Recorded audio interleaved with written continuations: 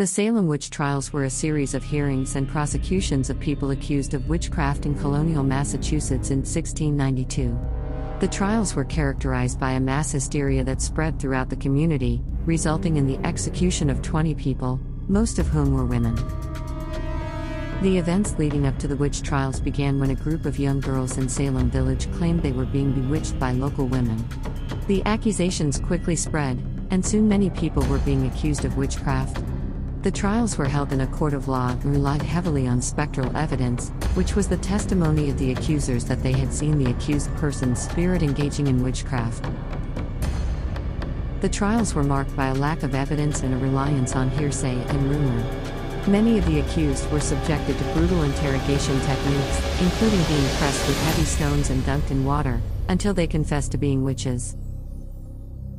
The hysteria eventually died down, and the trials came to an end, but the legacy of the Salem witch trials has endured. The trials have become a symbol of the dangers of mass hysteria, the importance of due process and the rule of law, and the danger of baseless accusations and prejudice.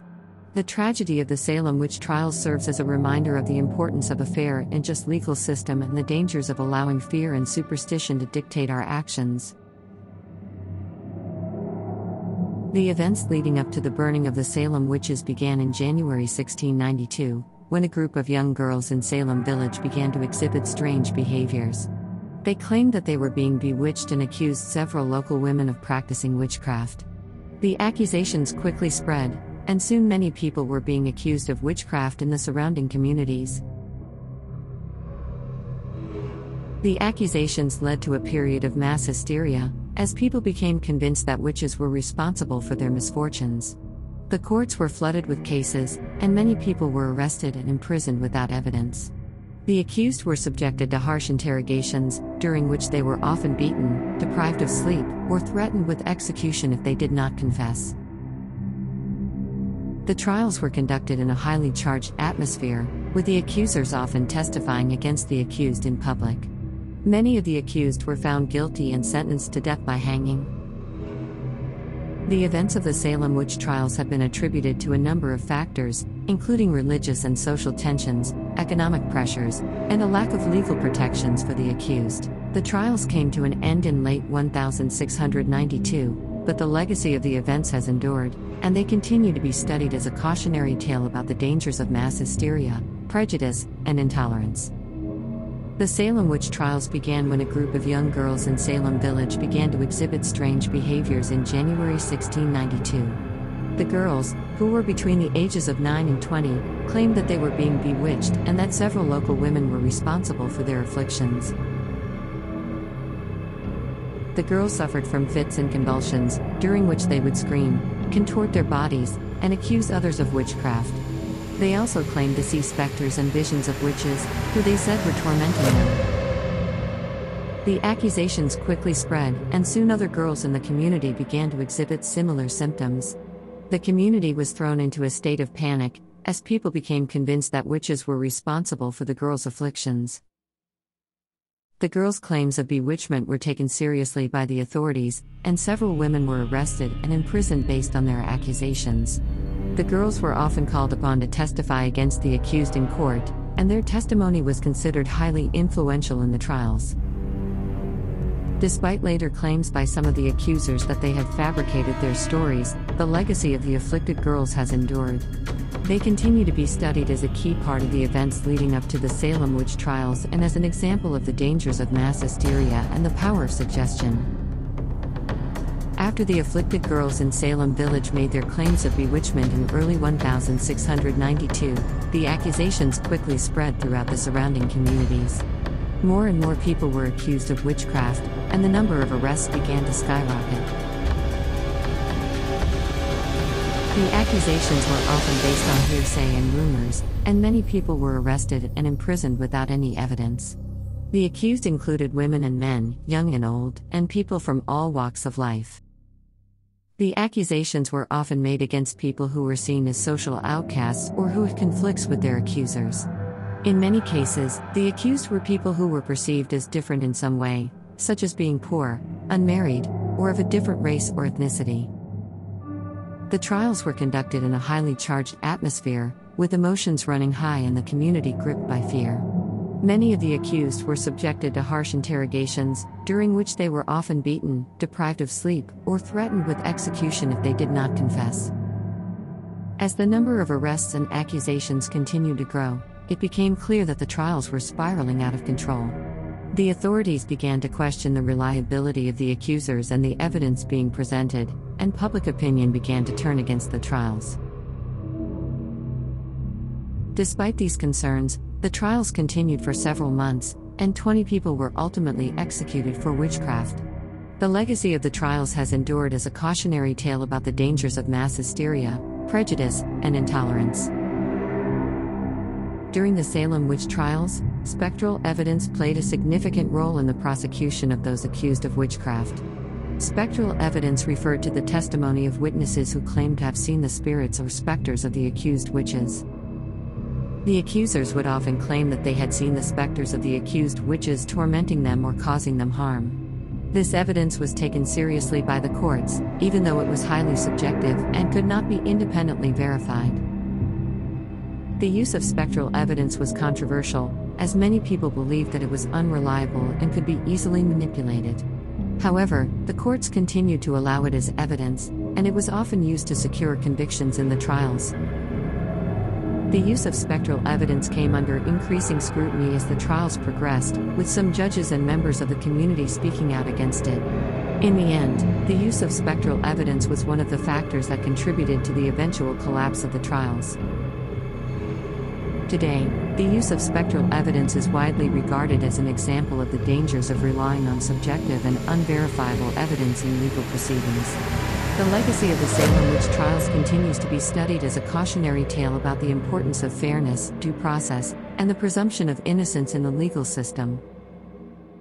The court system in colonial Massachusetts was based on English common law and had a significant impact on the Salem witch trials. The court system was divided into several levels, with the highest court being the Massachusetts Bay Colony General Court. In criminal cases, the accused had the right to a trial by jury and the right to legal representation. However, the legal system in colonial Massachusetts was often criticized for being harsh and punitive, with harsh penalties for even minor offenses.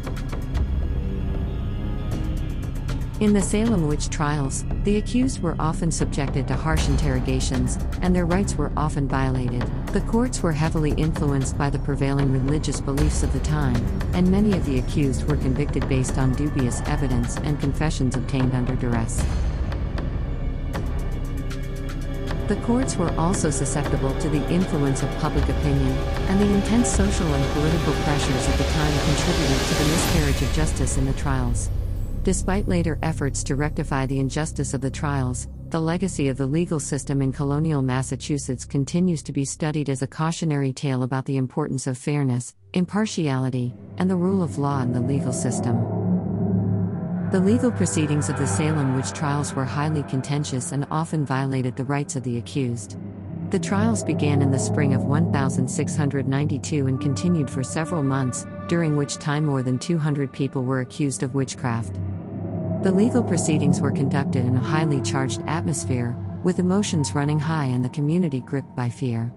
Many of the accused were subjected to harsh interrogations, during which they were often beaten, deprived of sleep, or threatened with execution if they did not confess. The trials were characterized by a lack of due process, with the accused often being denied legal representation and the right to a fair trial.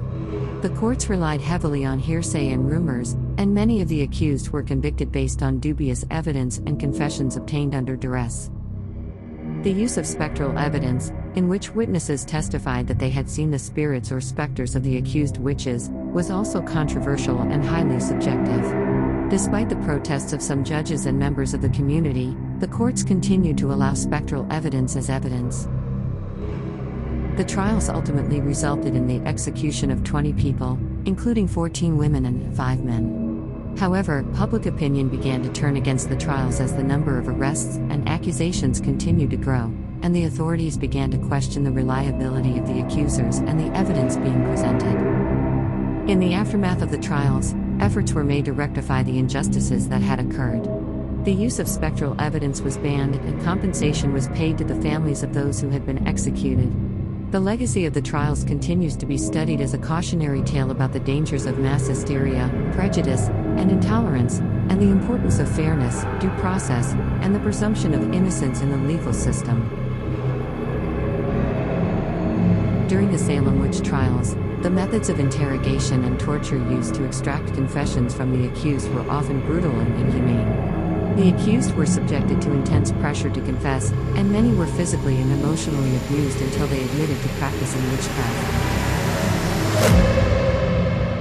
One of the most common forms of interrogation was the use of the witch cake, a mixture of rye meal and the urine of the accused that was fed to a dog. It was believed that if the dog exhibited symptoms of being bewitched, then the accused was guilty. This practice was eventually discredited, but it was widely used during the early stages of the trials. The accused were also subjected to sleep deprivation, and were often kept awake for days at a time in order to break their resistance. They were frequently beaten, or placed in painful positions, and were sometimes even burned with hot irons or scalding water. Another common method of interrogation was the use of the pressing or peine forte et dure, in which the accused was placed under a heavy weight until they either confessed or died. This was a particularly cruel method of torture, and several accused individuals died as a result of this practice. In many cases, the accused eventually confessed to practicing witchcraft, even if they were innocent, simply to put an end to their suffering. These coerced confessions were often the only evidence used to convict the accused, and led to the execution of many innocent people. The use of such extreme and inhumane methods of interrogation and torture during the Salem witch trials is now widely recognized as a violation of human rights, and a stark reminder of the dangers of unchecked power and prejudice. During the Salem witch trials, 20 people were convicted and executed for witchcraft. Of the 20, 14 were women and 5 were men. The first person to be executed was Bridget Bishop, who was hanged on June 10, 1692. She had been accused of witchcraft several times in the past, and her previous convictions were used as evidence against her. Other women who were executed for witchcraft include Sarah Good, a poor woman who had been accused by her neighbors of witchcraft, Rebecca Nurse, an elderly woman who was highly respected in the community, and Martha Corey, who had spoken out against the witch trials and was seen as a threat to the authorities. Among the men who were executed for witchcraft were John Proctor, a farmer who had been critical of the trials and who was accused along with his wife Elizabeth, and George Burroughs, a former minister who was accused of leading a group of witches in a black mass. The final executions took place on September 22, 1692, when eight people were hanged in a single day. These included Martha Corey, Mary Easty, Alice Parker, Ann Pudeator, Wilmot Redd, Margaret Scott, Samuel Wardwell, and Mary Parker. These executions marked the end of the witch trials, as public opinion began to turn against the proceedings and the authorities started to question the reliability of the accusers and the evidence being presented. Today, the execution of the 20 people during the Salem witch trials is seen as a tragic and unjust event in American history, and a stark reminder of the dangers of mass hysteria, prejudice, and intolerance. Their legacy continues to be studied as a cautionary tale about the importance of fairness, due process, and the presumption of innocence in the legal system. The public reaction to the executions during the Salem witch trials was mixed.